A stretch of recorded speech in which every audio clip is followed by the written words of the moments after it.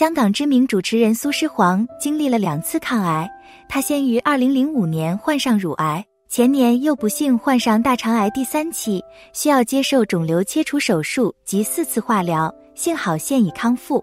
前天十七日是苏诗黄六十九岁生日，她在 IG 现实动态分享生日照，同性密友金燕玲陪伴在侧，而好友钟楚红也有为苏诗黄庆生。苏诗黄更上载了十一年前跟钟楚红的合照，钟楚红十一年来未有太大改变，相反苏诗黄却发福不少。刚踏入六十九岁的苏诗黄，昨日在 IG 现实动态分享生日照，穿上绿色 V 领衣的苏诗黄精神奕奕，捧着生日蛋糕，旁边是同性密友金燕玲，她轻轻依偎着苏诗黄，表现恩爱。而同场更有与苏诗黄同年同月同日生的老表，两老表打扮极相似，齐齐举起 V 手势拍照，仿若孪生姐妹。苏诗黄亦于 IG 现实动态分享两张与钟楚红一同庆生的合照。二月十六日是钟楚红六十四岁生日，聚会当天，钟楚红穿上桃红色衬衫，而苏诗黄则依旧打扮低调。二人与另一位同样二月生日的朋友一同拍照。三人齐齐捧着蛋糕，笑得非常开心。苏诗黄更于 IG 分享一张摄于二零一三年与钟楚红在桃花前的合照，可见钟楚红在这十一年间未有太大分别，美貌可谓零走样。不过苏诗黄明显长肉发福不少，面型变得更圆润，更有双下巴。苏诗黄与配角天后。金燕玲同居相伴超十八年，两次婚姻失败的金燕玲五十岁时回港遇上苏诗黄，在苏诗黄的强烈攻势及贴心照顾下，渐渐被打动，花了五六年终于转变想法。苏诗黄甚至曾承诺赚两亿元让金燕玲过好下半生。金燕玲同样两次患癌，二零一九年确诊子宫癌，切除子宫、卵巢、淋巴等部位。二零二一年再患乳腺癌，苏诗皇无微不至照顾她。金燕玲康复之后重回荧幕，放心追求自己的电影事业。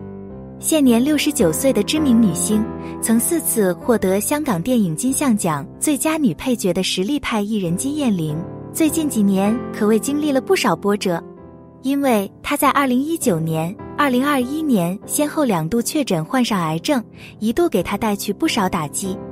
如今，金燕玲两度抗癌成功，并且复出拍摄了电影《不日成婚二》。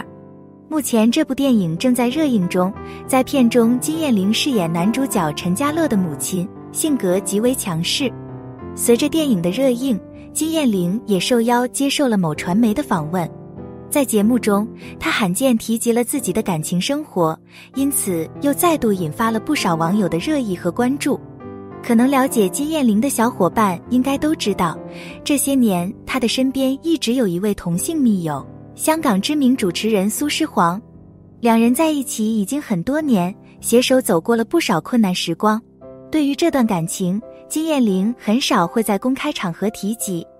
这次在采访中，金燕玲终于公开出柜，大方承认了和苏诗黄是情侣关系。据金燕玲透露，最初她和苏诗黄其实一点都不熟悉，两人是在共同朋友介绍下认识，只是普通的牌友关系。令金燕玲没想到的是，两人打了几次麻将之后，苏诗黄竟然向她发起了猛烈追求。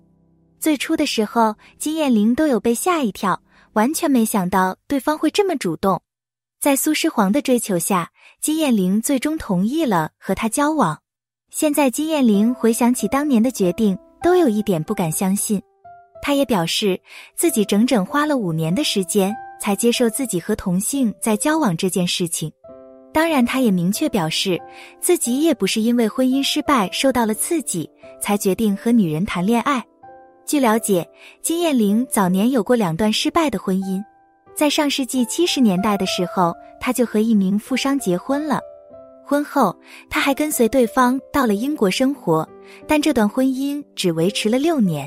之后，金燕玲又同一名律师交往，后来在交往期间发现自己怀孕了。即使在怀孕期间，他已经知道对方出轨了，但为了肚中的女儿，他选择忍气吞声。女儿出生后，金燕玲便和对方结婚了。这段婚姻因为有孩子的存在，还维持了很多年。只是在二零零五年的时候，两人的婚姻还是走到了尽头。婚姻失败之后，金燕玲将事业的重心转投到香港。到了香港，在机缘巧合下，就遇到了现在的爱人苏诗黄。两人确定关系之后，就一直相互扶持、相互陪伴，感情颇为稳定。金燕玲在二零一九年患上子宫癌，经过化疗，眉毛、头发都掉光了。二零二一年患上乳腺癌，做了手术，情绪崩溃的时候，都是苏诗黄默默陪在她的身边。而苏诗黄在去年年底也同样被确诊患上了大肠癌，并且她的癌症还是处于第三期，需要尽快做手术。在苏诗黄陷入低谷的时候，金燕玲也同样默默陪在他的身边。给了对方最大的安慰和鼓励，在最困难的时候，金燕玲和苏诗黄都给了彼此支持，相信这样的感情只会越来越稳定，越来越长久。随着身体逐渐康复，金燕玲也在慢慢复出拍戏了，期待她将来能够在荧幕上带来更多精彩的角色。大美人钟楚红自一九九二年息影之后，就再也没有复出过。不过，她也并没有绝迹在众人视野中。如今，她有她自己的生活，自己的人生，只追求过惬意的生活、舒适的日子。所以，大多看见他的时候，都是出现在一些朋友的聚会上，这反而更能展现出他生活化的一面。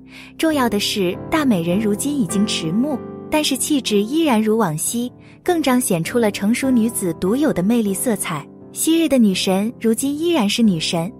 不知不觉，红姑如今也已经六十四岁了。二月十六日是她六十四岁的生日。虽然是大寿，但是红姑依然选择低调与苏诗黄度过。两人生日仅相隔一日，所以这些年苏诗黄都会与钟楚红一同庆祝，今年也不例外。钟楚红是一代女神，从影的时间算不上太久，一九八零年到一九九一年，不过十余年而已。但是十年间的从影生涯也令她留下了不少的代表作，包括《男与女》《秋天的童话》《伴我闯天涯》都是经典。美中不足，还是会令人小小抱怨钟楚红的息影时间太早，不能再一睹她在荧幕上的风采。钟楚红一九九二年正式息影，皆因为嫁给了广告界的才子朱家鼎，婚后专心做少奶奶。由于婚前与丈夫协议不生孩子，所以婚后她全力做丈夫背后的女人，深居简出。可惜的是，朱家鼎在二零零七年罹患大肠癌病逝，如今就只剩下她一人独自过活。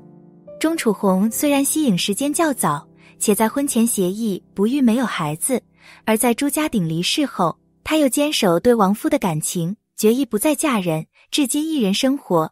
但是她依然活得很自我。很丰盛，因为他有自己的人生方向与追求。在二零零七年朱家鼎离世后，钟楚红经历了人生的最灰暗期后，在伤心了一段时间后，他又重新活了过来。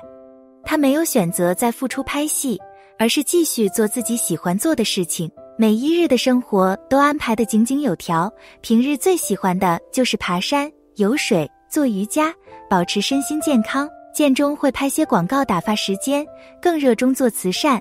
早几年更是重拾了自己最喜欢的摄影工作，闲时周游列国，四处拍照。这几年来还多次举办了个人影展，虽然都不是什么大规模的展览，但总算是成就之作。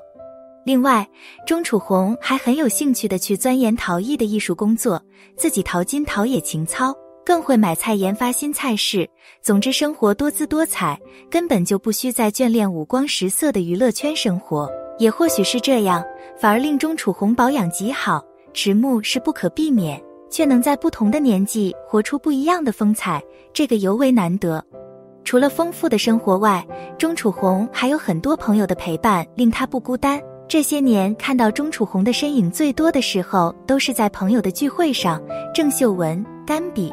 苏诗黄都是他的挚友，尤其是苏诗黄，两人相识很多年，且生日只差一天，所以每一年苏诗黄总是要与钟楚红一起庆生。二零二零年钟楚红六十岁生日，就是与苏诗黄一同度过。